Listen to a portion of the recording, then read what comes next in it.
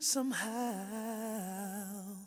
Oh, all my life you have always been there. So please don't leave me now.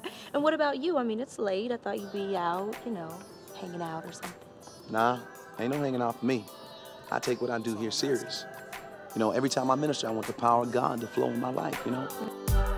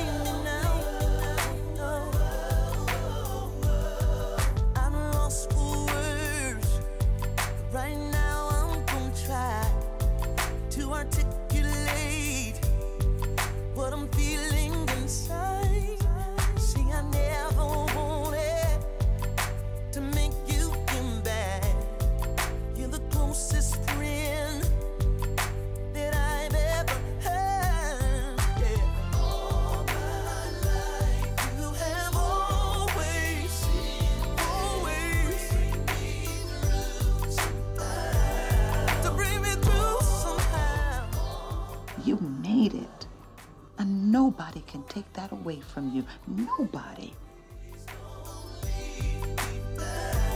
Oh, I'm asking, Lord, don't leave me now. Oh, wait a minute, don't leave me now. Wait a minute. Down. Did you call 911? Mama, wake up now. Wake up now. Don't leave me.